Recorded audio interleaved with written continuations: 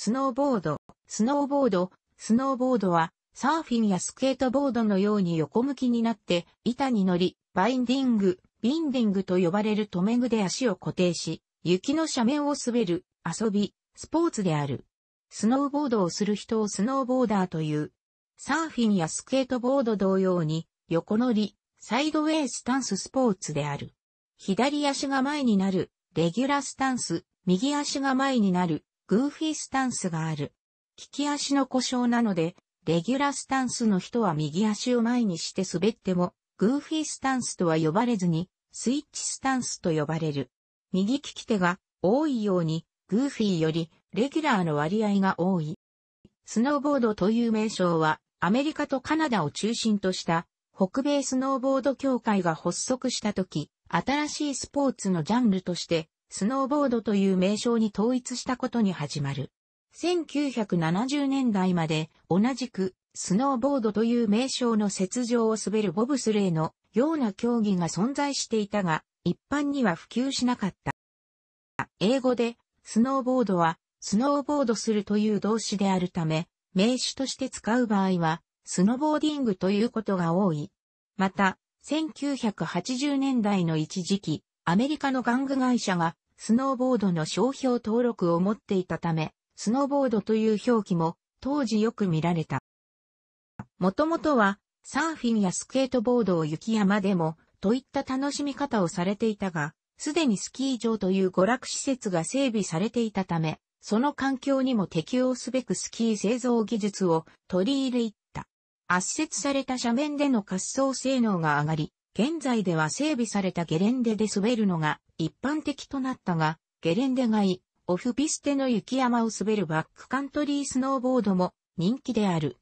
人工的に管理された範囲外での滑走となるため、より高度な滑走技術だけでなく、雪崩のリスクマネジメント、応急手当など、安全に関わる知識を学ぶことや、ビーコンなどの専用の装備が必要である。バックカントリースノーボードは、ビッグマウンテン、競技には、エクストリームなどとも呼ばれる。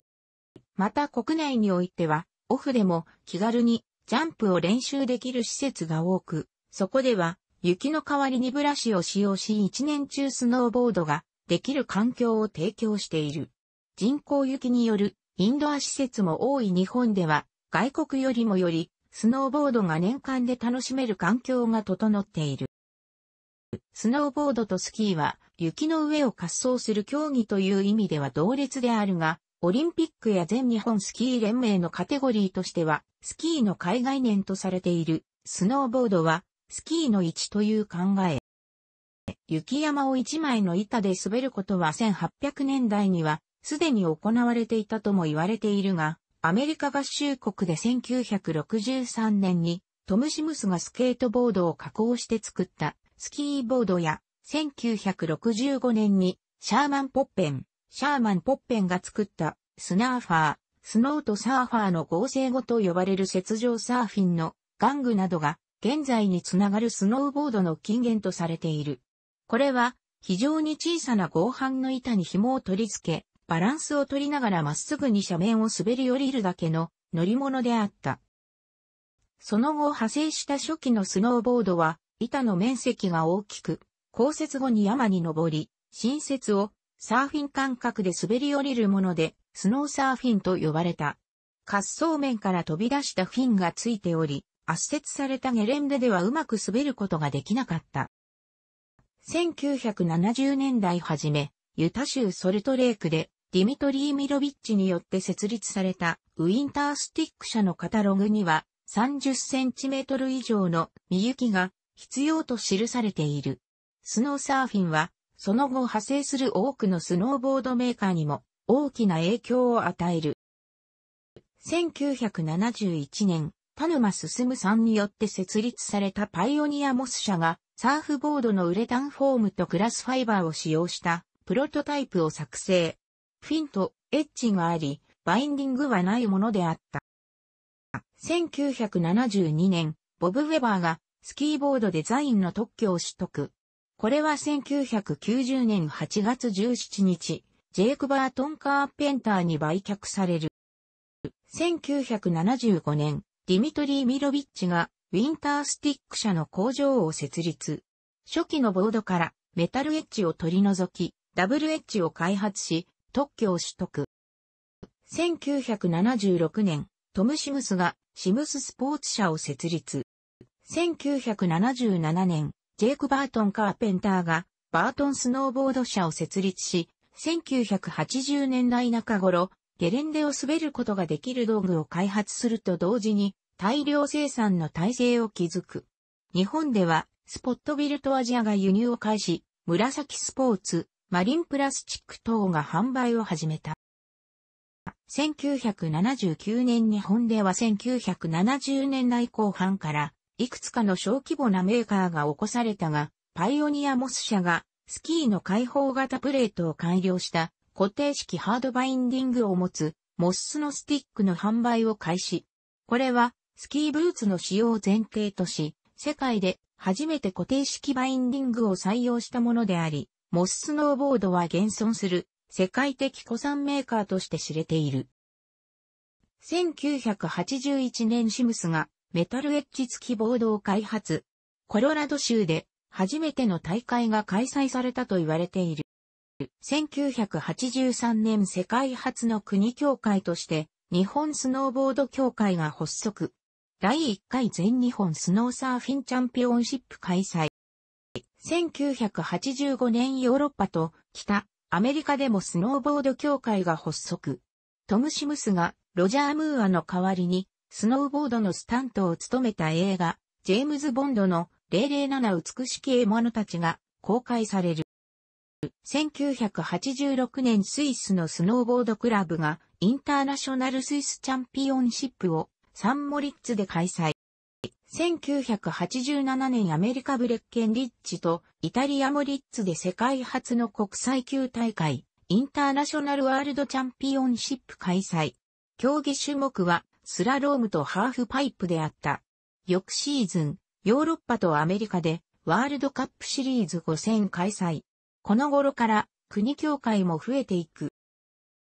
1989年初めての国際協会として国際スノーボード協会が発足。ただし、ヨーロッパ内での活動。1990年初めてのプロ協会がスイスで発足。アジア、ヨーロッパ、北、アメリカでワールドカップ大会16戦が再開される。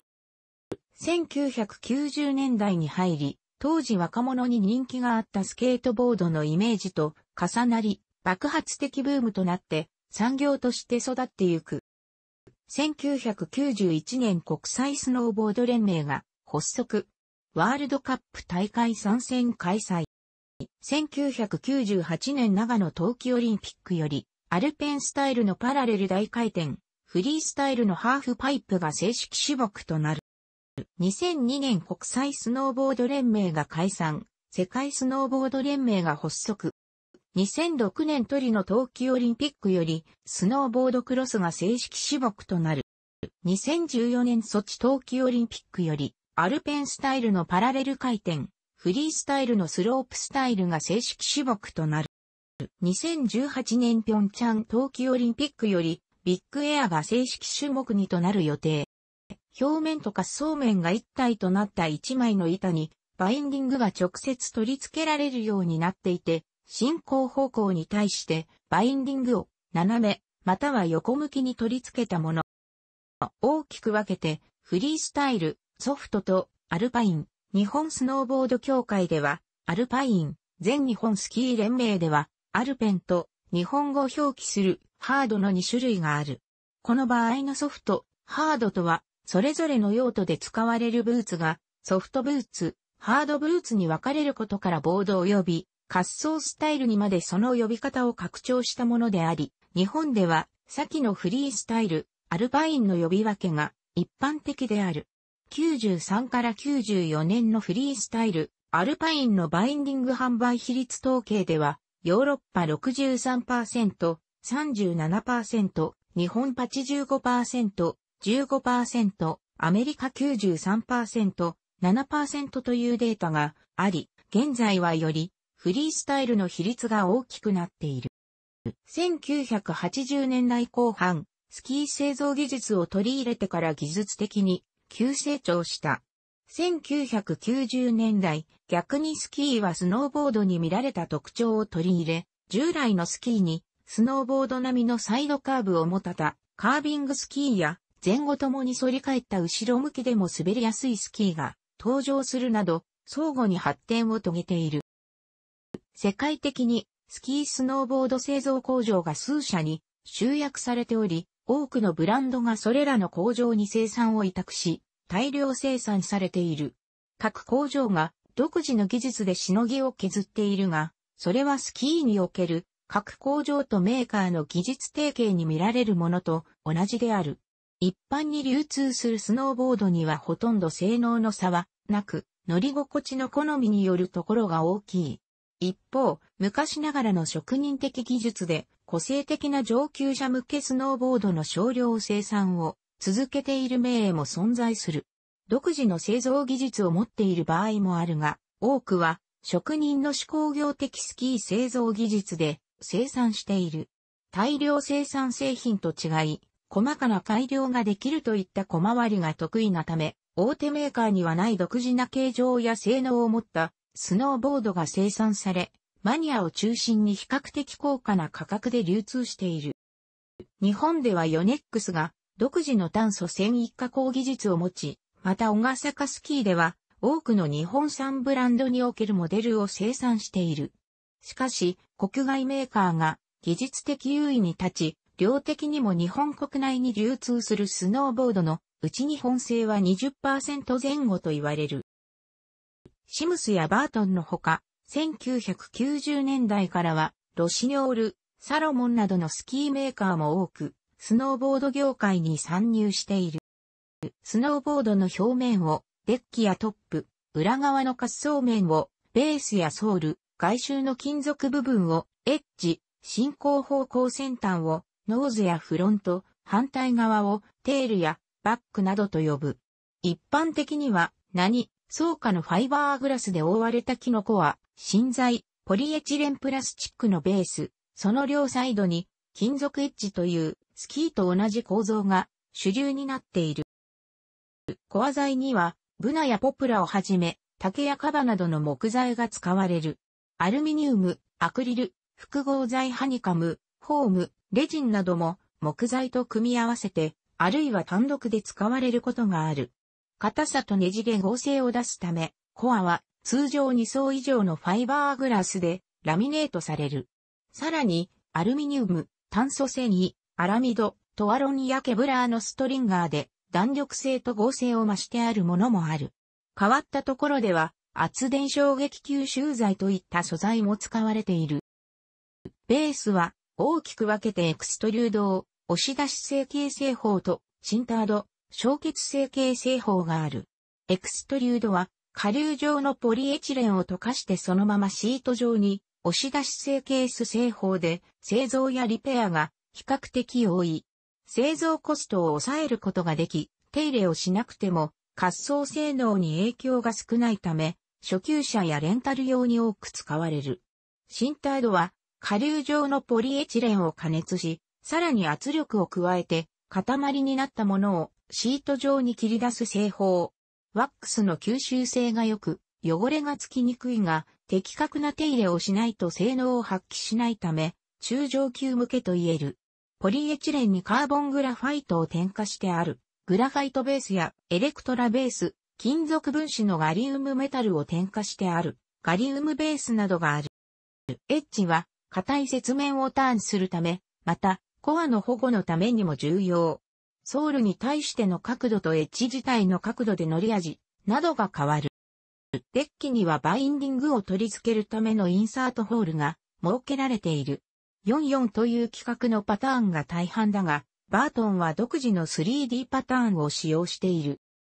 フリースタイルボードはアルパインタイプに比べると幅広で長さも短めのものが多い。どちらを前にしても滑りやすいよう前後とも半円形状で反りがついている。形状、フレックス、インサートホールが前後対称のツインチップ、前後非対称のディレクショナル、前後対称形状でセットバックされていたり、フレックスがテール寄りだったりと、中間的な存在のディレクショナルツイン、セミディレクショナルなどに分類される。アルパインボードは、フリースタイルに比べて、スリムな形状で、トップは半円形状、テールは板に対して垂直にカットされている。外見で、すぐに前後が認識できる完全なディレクショナルである。もともとは、鬼門競技用に開発されたため、滑走安定性が高く、高速なターンを得意としている。非対称ボードと言われる、左右のエッジがずれて取り付けられているボードがある。これは、切り返し時のロスが少ないように開発されたもので、一時はフリースタイルボードにも見られたが、特性的にアルパインボードに多い。アルパインスタイルでは足の向きを進行方向に対し斜めにセットするため、かかとよりもつま先の方が前方に位置する。これに合わせて、つま先側のエッジ、レギュラースタンスでは、進行方向右側を前にずらしてある。前世紀には、各社から発売されていたが、レギュラーとグーフィーと違うスタンス向けに生産しなければならず、生産量の調整も難しいことや、スノーボード自体の性能も良くなり、そこまで必要性がなくなったという背景もあり、現在はほとんど生産されていない。バインディングは、ボードとブーツを固定する器具で、ボードに直接取り付ける。バインディングは、ビンディングとも日本語表記される。日本では、日本スノーボード協会が表記を英語発音に近い、バインディングに統一。以来スノーボードだけを販売するメーカーは、大抵バインディングの表記を用いる。一方、スキーではドイツ語発音に近い、ビンディングの表記を使用していたため、スキーも製造するメーカーや、全日本スキー連盟の登録選手しか出場できない、冬季オリンピックでは、スキーと同じビンディングの名称が用いられる。二つの故障に意味の差はないが、ビンディングの方が比較的古くから使われている。フリースタイルバインディングは板の進行方向に対し、より横向きにセットされる。前足が15から21度前後、後ろ足が0から10度前後が一般的だが、後ろ足をマイナス角に取り付けるダックスタンや、両足とも0度にセットするフラットなどもある。最も一般的で操作性が高いストラップインタイプ、踏み込むだけのステップインタイプ、その両者の利点を合わせ持つリアエントリータイプある。ベース、ブーツを固定するストラップ、ふくらはぎをサポートするハイバックで構成される。アングル角度調節がより細かく容易にできるようにベースを抑えるディスクが別にあったり、かかと部分がヒールカップとして別になっていたり、ベースに衝撃吸収用パッドがついているものもある。ステップインタイプは登場当時は話題を集め、各社開発が盛んだった時期もあるが、ストラップインタイプよりレスポンスが悪い、雪が詰まりやすいなどの問題点が未だ完全に解決されているとは言えず、最近ではほとんど販売されていない。リアエントリータイプは、ハイバックが後方に倒れる構造を持ち、足を入れてからハイバックを起こして固定する仕組みになっている。以前は、ブーツテーとデッキが密着するベースプレート、ディスクレスバインディング、ブーツ髪型に3本目のストラップをつけて、レスポンスを良くした3点タイプ、足の可動範囲がより広くなるよう、ハイバックを非常に低くしたローバック、フリースタイル用のカントなどもあった。アルパインバインディングは板の進行方向に対しより前向きにセットされる。45から60度弱が一般的だが、70度前後という場合もある。従来の手で締めるクリップタイプと、踏み込むだけのステップインタイプがある。リフトやカントを入れて、角度をつけるのが一般的。フリースタイルバインディングには、ソフトブーツを使用する。素材は、昔は革を使用したものが多かったが、最近では、合成や耐久性の点から化学繊維が多く用いられるようになった。一般的なアウターとインナーに分かれたタイプとインナーレスタイプがある。紐で編み上げるタイプのほか、ダイヤルを回して金属ワイヤーで締め上げるタイプなどもある。アルパインバインディングにはスキーブーツと同様の樹脂で成形されたハードブーツを使用する。スキーブーツと比較して前後方向に柔らかめに作られていたり、板を倒し込んだ時に雪面と接触しが太陽、つま先とかかと部分が斜めに削られているなどの違いがある。インナーには、アウターと同様に編み上げタイプや一体成形タイプ、サーモタイプなどがある。サーモインナーは一度オーブンなどで熱を加え、足を入れて冷却し、自分の足にフィットするように成形したインナーとすることができる。デッキの中ほど前後バインディングの間にはデッキパッドという滑り止めをつけることがある。平坦な場所やリフト乗降時、後ろ足を外して蹴って進む場合に、後ろ足を乗せても滑らないようにするためである。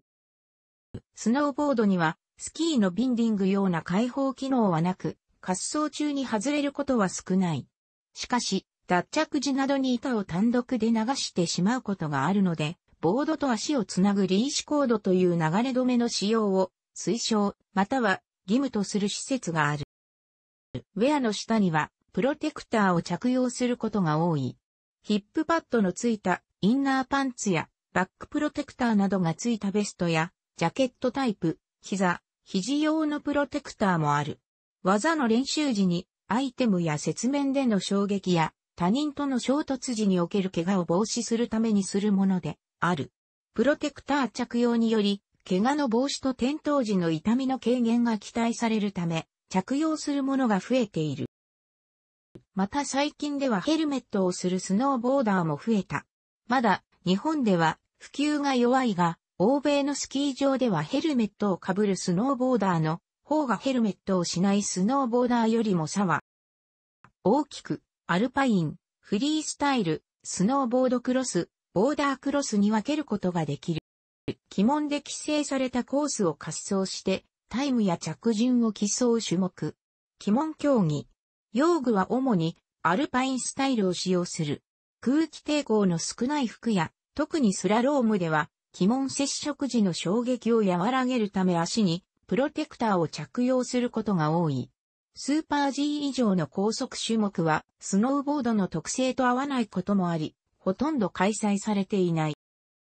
日本国外ではフリーカーブ、ユーロカーブとも呼ばれる構造物を使用しないグラウンドトリックの競技会などもあるが、キッカーやハーフパイプ、クォーターパイプ、ジブアイテムなどを利用することがほとんど。用具は主にフリースタイルを使用する。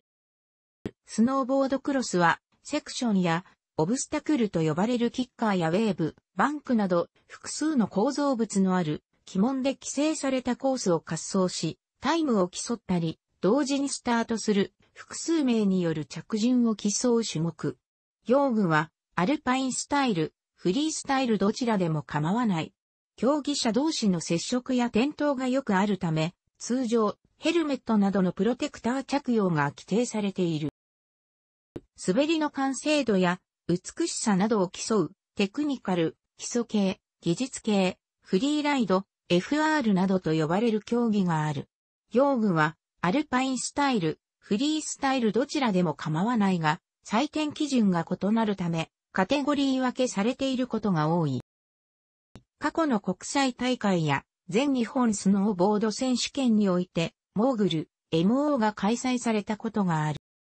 1980年代初頭からスキー場は相次いでスノーボードを滑走禁止にしてしまう。全面で滑走を認めていたスキー場もあるが、上級者コースを滑走禁止にし、一部開放というスキー場も多くなった。ターン湖の大きさや性質が違うスノーボードとスキーでの接触事故が多く見られたという理由や、初級者が多く、装着場所などのルールやマナーが整理されていなかった。スノーボードが、スキーヤーにとっては危険で邪魔であったからという理由が大きい。スノーボード禁止としたスキー場でも、登録や受講、スキー場が実施するテストを受験して、ライセンスを取得するなどの条件を満たせば、滑走できるようにするところも増えていった。その後、スノーボーダーの技術向上などによりライセンス制の廃止が相次ぎ、現在では見られなくなった。バブル期から1990年代半ばにかけてのスキーブームの時期においては、日本国内の人気のウィンタースポーツのメインストリームはスキーであり、週末になると1台のリフトを数時間待つということもあったが、時代は移り変わり、21世紀以降になると、国内のスキー人口が年々減り続ける中で、年々増加する、スノーボード比率も受け入れなくてはならないという、スキー場の経営的側面も影響している。長野県の老舗スキー場などでは、事故が多いスノーボード解禁には消極的だったが、現在はスノーボードを全面滑走禁止にしている。ゲレンデはほとんどない。近年では、キッカーやレール、ハーフパイプといった施設を揃えたスノーボードパークを設置するリゾートも増え、多くのスノーボーダーの人気を集めている。また、季節や降雪に関係なく楽しめる屋内施設もある。スノーバが有名。かつてはララポートスキードームスソスという大型屋内施設があった。北米、欧州と比較して用具の普及率が突出して高く、自前の用具を用意する人とレンタルを利用する比率は8、2と言われている。これは北米、欧州の全く逆。このため、レンタルスノーボードにおいては後進国と言われている。統括団体が国際的には WSF 世界スノーボード連盟と FIS 国際スキー連盟日本では JSBA 日本スノーボード協会と SAJ 全日本スキー連盟に分かれており長年にわたって対立している。対立の根源はスノーボードそのものの位置づけで WSF JSBA がスキーとは違う単一スポーツとしているのに対し FIS SAJ はスキーの一種目としていることにある。冬季オリンピックにおいてスノーボードを採用する際、正式種目としての開催を急ぐ IOC、国際オリンピック委員会は、すでに正式種目となっていたスキーの一部として開催するために FIS を統括団体と決定し、日本では下部団体となっている SAJ に登録しなければ、オリンピックに出場できなくなった。日本では主に JSBA、SAJ、シアの3団体が各種資格を発行している。技術認定系、教師系の資格は3団体とも、シア以外では競技役員資格や JSBA ではパトロール資格もある。楽しくご覧になりましたら、購読と良いです。クリックしてください。